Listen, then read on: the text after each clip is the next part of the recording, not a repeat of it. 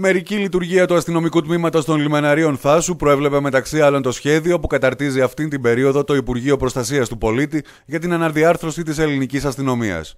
Ο σχεδιασμός παρουσιάστηκε σε επίσκεψη του γραμματέα του Υπουργείου στην Κομωτινή και αφορούσε συνολικά την περιφέρεια Ανατολικής Μακεδονίας και Θράκης. Ωστόσο, η αντίδραση της Δημοτικής Αρχής της Θάσου ήταν άμεση. Στην ε, αστυνομική διεύθυνση στην Κομωτινή έγινε μια ευρεία σύσκεψη όπου συμμετείχαν και οι αυτοδιοικητικοί, οι δήμαρχοι, ε, για το ζήτημα των ε, αστυνομικών τμήματων και σταθμών ε, τα οποία πρόκειται να αναβαθμιστούν ή να καταργηθούν. Ανάμεσα σε αυτά ήταν και ο αστυνομικός σταθμός των λιμεναρίων Θάσου που υπήρχε μια πρόταση να λειτουργεί μόνο κατά τους θερινούς μήνες.